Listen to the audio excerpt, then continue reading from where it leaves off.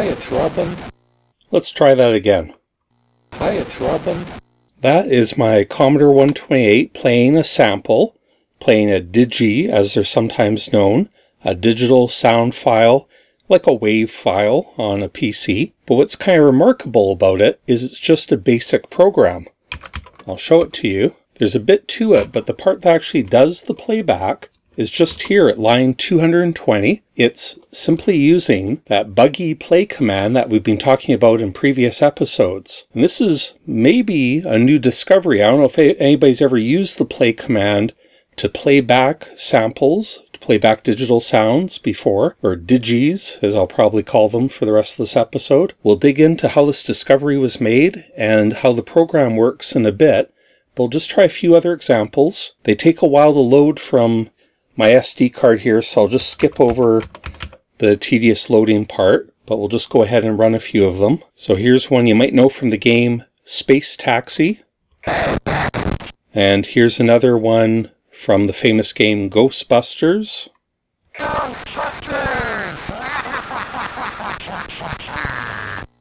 And finally, here's a snippet from an old Commodore 64 commercial with a song, I Adore My 64.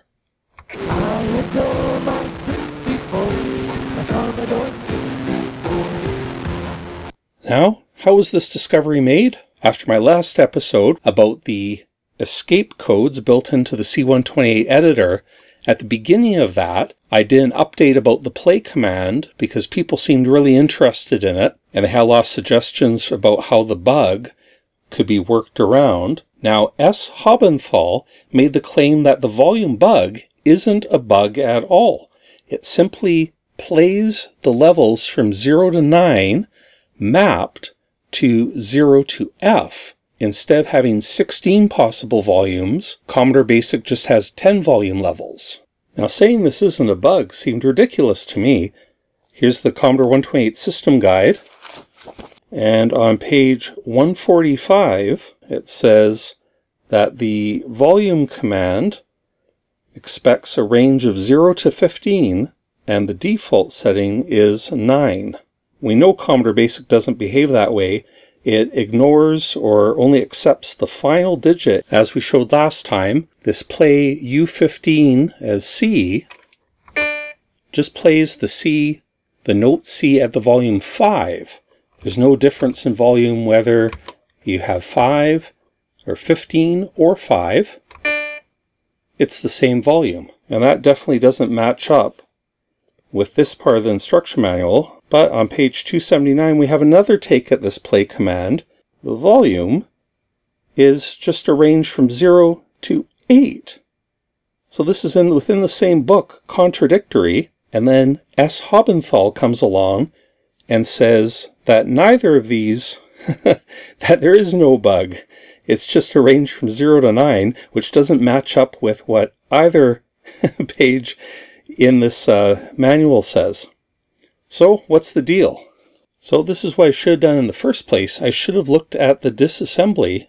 So if you just go in with the monitor command to the C128 monitor, if we disassemble at this location, it's actually five hex digits but these last four digits are the actual address in C128 memory space. It's just got a 16-bit address space. But this indicates bank F, which doesn't really mean that there's 15 banks of 64K, or 16, for a number from 0 to 15. A bank in C128 language is a particular configuration of RAM, ROM, and I.O. And bank F exposes the ROM in the computer and we can examine it with the monitor. So we'll just disassemble at that location. And we can see here that it's grabbing some value, masking out the low nibble, and then ORing it from a table, going to jump to subroutine, and then storing it in the volume register. What is it doing here? Well, let's look at this table at 703C, and we're disassembling it. And here's the, the values from 0 to 1. then it jumps up 3, 5, 7, 8. A, which is 10 in decimal. C, which is 12. E, which is 14, 15. And that goes off into other numbers. So this leads me to believe that the commenter is completely correct that these 10 values are mapped from 0 here up to a maximum offset of 9, which is in that X register over here, and 9 is mapped to 15, and so on. So we have a roughly linear, but not completely linear, approximation where values 0 through 9 in decimal are mapped to 0 through F in hexadecimal for the volume. So when you do volume 9, it does indeed play at the maximum value of F or 15 decimal. So S. Haubenthal, you are completely correct. I might argue there's still some sort of bug here that letter U is ignored by the play command and how it doesn't match either set of documentation. But yes, the volume command appears to be designed to only accept a single decimal digit. So I looked into this even more and using the Vice monitor on my Mac, I set a breakpoint whenever a write occurs to D418, which is 54296 in decimal. It's the volume register of the SID. The emulator triggers the monitor whenever a write goes through D418. So if I do a command like play 909, it turns out that three values are written through to the volume register. Previously, we thought it was only the last digit that was going through. But in fact, all three of these values, all three of these volume settings do go through to the SID, but only the last one sticks, so to speak. So that made me wonder. It didn't work in Vice, but on the real C128, you can actually write a series of nines and zeros through. And if you go back to that episode or two I did about trying to optimize basic using a guitar tuner, we were storing alternating values into the volume register and it was the clicks of changing the SID would make a pitch. So we can do something like for x equals 1 to 127, a string equals a string plus 90, next. That builds a string. That's just an alternating series of 9 and zeros. I did 127 of them because the maximum length of a string is 255. I can prove that here. Yeah, string too long error. And I'll show you the string it generated. Just a bunch of nines and zeros. And then we can do the play command. And it makes that quick burst of noise. But you see it does come through as a pitch. And if we do a whole series of those, for example, for x equals 1 to 100, play a string next. Now this isn't going to be pleasant to listen to, but...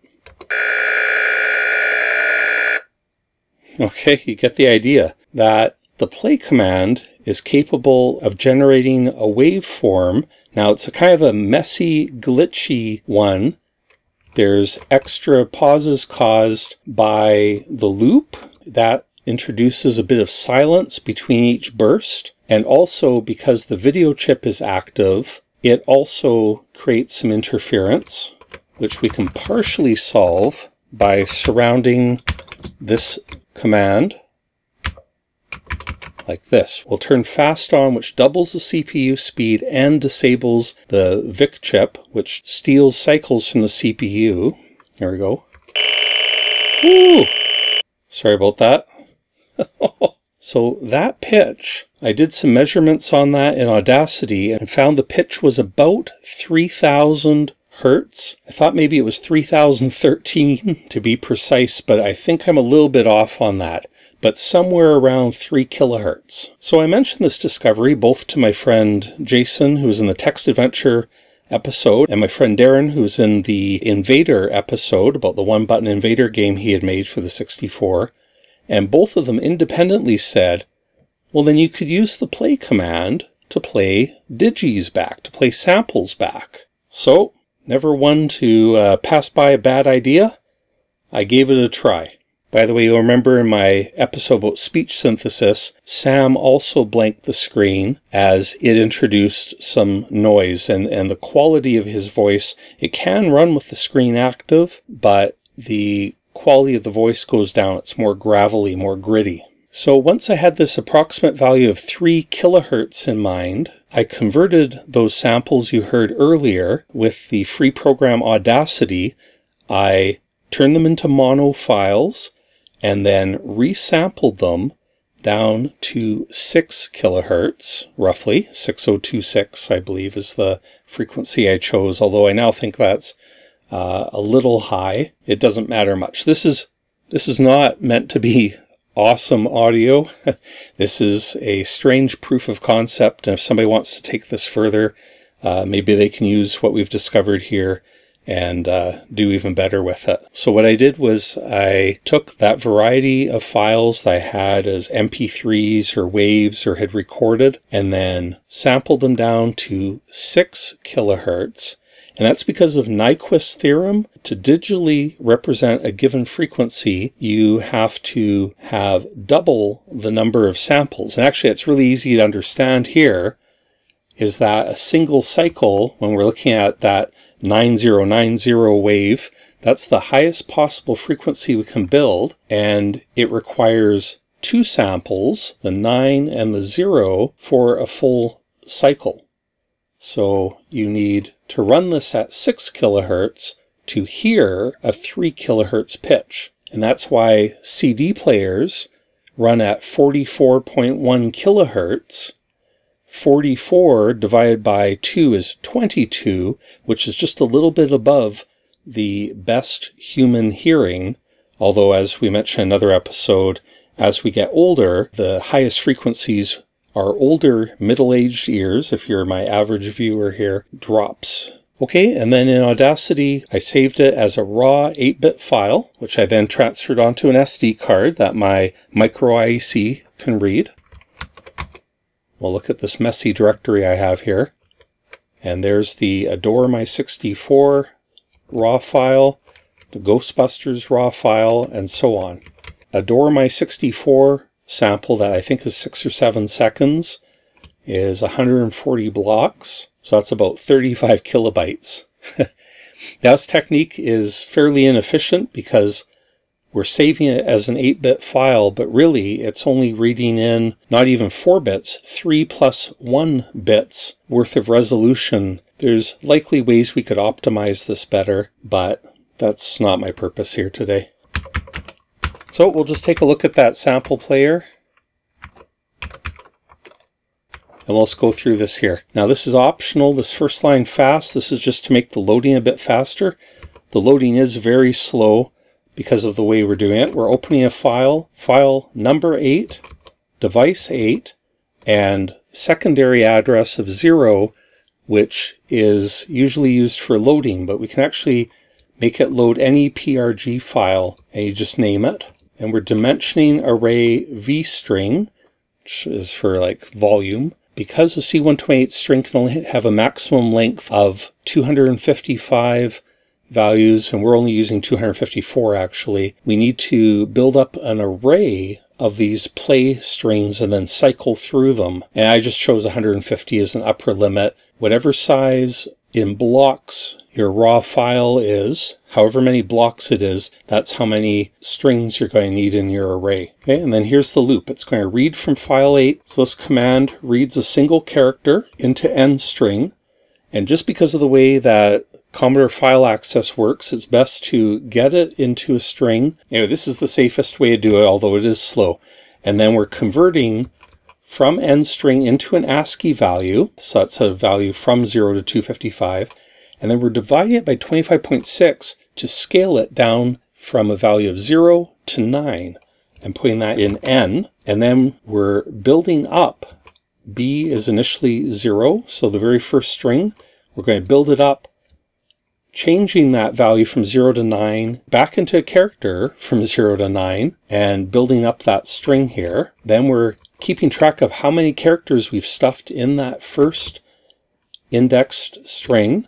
And if we hit 254, then we're going to print the value out, although it's invisible in fast mode, just for debugging purposes or whatever.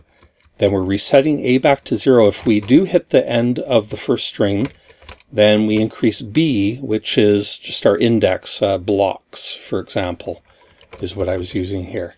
And then we check the end of the file, or check for the end of the file.